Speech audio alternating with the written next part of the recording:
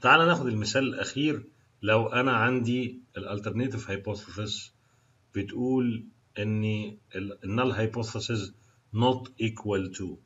زي ما بقول العلبة اللي فيها ال push pins المية بقول لا ما فيهمش مية. ممكن احتمالية إن هم يبقوا أكبر أو أصغر. ما حددهاش أنا ما حددهاش بأكبر أو أصغر. يبقى أنا لازم أحط ال two tail في ال curve بتاعي وأحط ال level of significance متقسمين. لو أنا هعمل واحد في المية تعالى نجرب الكلام ده.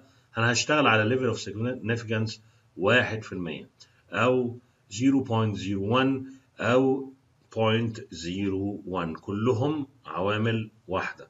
لو أنا هستخدم ال level of significance ده يبقى أنا بقسم الواحد في المية على اتنين. يعني كل واحدة فيهم هتاخد نص. 99% هم ال null hypothesis وواحد في المية بس هو ال alternative hypothesis وبضطر أقسمه على اتنين. فلما أقسمه على اتنين يبقى هيكون ال level of significance على ال left tail 0.005 وعلى ال right tail 0.005 طبعا دي نسبة صغيرة جدا. الرقم ده معناه نص في المية. ده واحد في المية مع ده نص في المية هنا ونص في المية هنا. تعالى هن... عايزين نعرف هنشتغل إزاي. هنجيب الجدول بتاعنا. دلوقتي أنا هشتغل فين؟ أهم حاجة أعرف أنا هشتغل فين.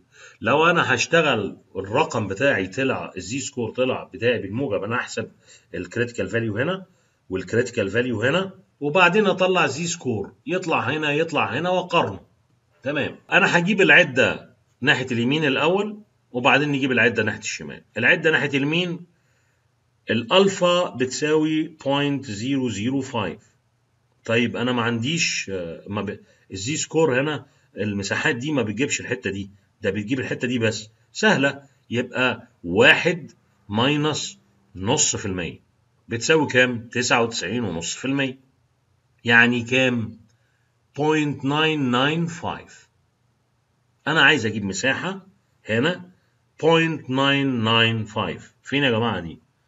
0.995 أعتقد إن هي أهي. 0.9951 وفي 0.9949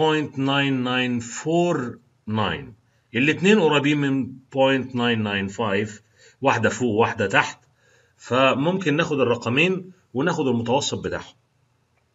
دي المساحة اللي بتشتغل على هنا. تمام؟ وبالتالي أنا عايز أجيب الإيه؟ ال critical value الخط الأحمر ده. إحنا فين؟ to right إحنا عايزين نجيب ال critical value طب يلا نمشي بال critical value بتاعي ال z-score بتاعي علشان أعرف ال level of significance وبعدين أعمل ال test وأبدأ أقارن ال two z-score ببعض. يبقى واحد minus 0.005 دي بتساوي 0.995 إحنا قلنا أدي الرقمين موجودين قدامنا. خلينا نمشي في ال scoreات بتاعتنا علشان نطلع ال z-score ال z-score هيطلع عندي 2.57 أو 2.58 يعني المفروض حاجة في النص كده. طب إيه اللي في النص؟ يعني الرقم اللي في النص هيبقى كده 2.575 ما هو الرقم الاصلي إيه؟ ده ال critical value أنا اوريكم إزاي؟ ده 2.57 وده 2.58 مظبوط؟ طيب خلاص أنا اخد اللي في النص. 2.575 يبقى الرقم بتاعي z-score أو ال critical value اللي ناحيه ال positive هو 2.575 لو طلع لي ال t-test for example لو طلع ال t-test بتاعي طلع سواء استخدمت ال chi-square test أو ال t-test أو ال ANOVA طلع مثلا إيه؟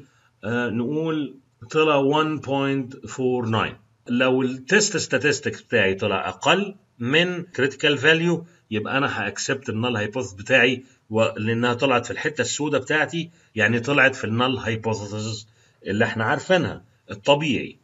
تمام؟ آه يبقى أنا ه accept ال null hypothesis خلينا ندي مثال من ناحية ال left tail test. لو أنا عملت ال left tail test يبقى ال z-score بتاعها هجيب أنهي عدة؟ هجيب أنهي؟ هجيب ال negative ها؟ هجيب ال z-score negative. أدي ال table بتاعتي ال z-score ال negative وعايز أجيب مقابل ال 0.05 0.05 يبقى أنا أدور على 0.05 موجودة فين؟ أهي 0.0051 وفي 0.0049 الاثنين قريبين من 0.005 اللي هو الرقم ده ال alpha value أو ال critical value اللي أنا عايز أجيبه. يبقى نجيب الرقم بتاعها هيطلع كام؟ هيطلع تقريبا minus 2.57 أو minus 2.58 المقابل بتاع الناحية التانية لو أنتوا فاكرين. الناحية التانية كان 2.575 الرقم بتاعي minus 2.57 أو minus 2.58 ما ناخد النص بتاعها. النص بتاعها minus 2.575 يبقى ال critical value بتاعي بيساوي كام؟ minus 2.75 عرفت ال critical value بتاعي. لو طلع ال test statistic بتاعي أكبر من الرقم ده يبقى أنا ه accept ال null hypothesis طلع أقل من ال z-score أو ال critical value يبقى أنا ه reject ال null hypothesis و accept ال alternative hypothesis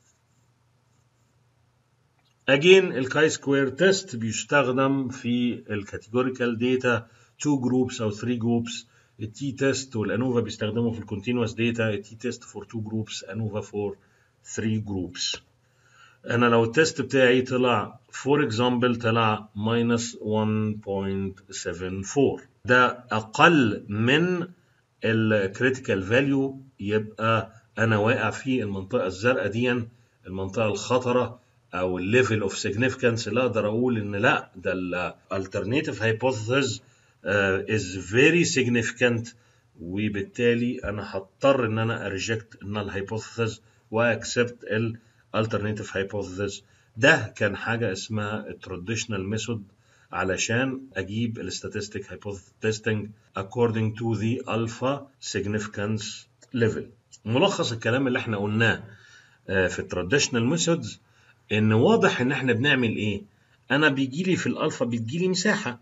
بقلب المساحة بقلبها z score وأقارن ال z score بال critical value يبقى أنا بقارن z score ب z score في ال left tail test بيحصل إيه؟ بروح ناحية ال negative أو بقول لها ال alternative hypothesis ده عبارة عن أقل من أو الحسبة بتاعتي أقل من آه ونفتكر ال push pins فيهم 100 وأنا بفترض إن هم أقل من 100 فلو ال z score أو ال test statistic طلع أقل من الألف أو ال critical value فأنا ب reject the null hypothesis وب accept ال alternative hypothesis ولو ال z score أو ال test statistic اللي طلع عندي طلع أكبر من ال z score بتاع الالفا يبقى أنا ب accept the null hypothesis من ناحية أخرى بيقول إن أنا هروح ناحية ال positive مبدئيا بستخدم ال normal distribution ال table بتاعتي ال positive عشان أطلع ال t test والفرضية بتاعتي بتقول إن أنا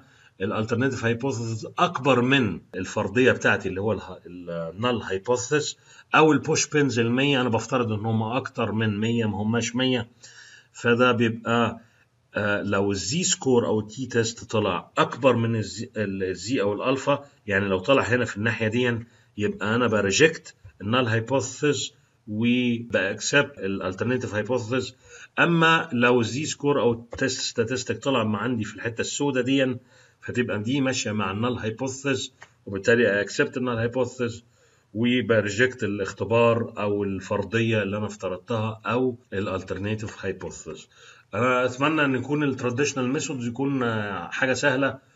أنا ما مش شايف فيها حاجة صعبة يعني لكن لو في أي حاجة صعبة إحنا ممكن نناقشها سواء من خلال ال groups أو هنا عندي على القناة تحت الفيديو في اليوتيوب. إن شاء الله المحاضرة الجاية هنتكلم عن ال p value method